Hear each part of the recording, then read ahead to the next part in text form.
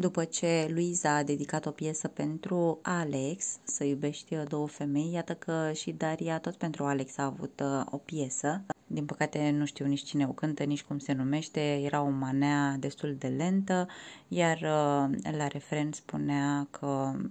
suntem uh, prea compatibili, suntem uh, invincibili și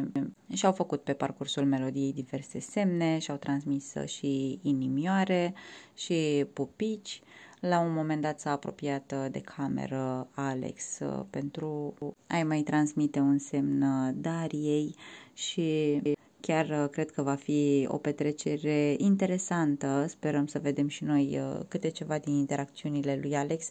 și cu Daria, și cu Luiza și poate cu Andreea de asemenea, pentru că eu cred că totuși dintre toate cele trei fete are o simpatie mai mare față de una, dar uh, nu a dezvăluit spre cine s-ar îndrepta sau poate încă nu e hotărât.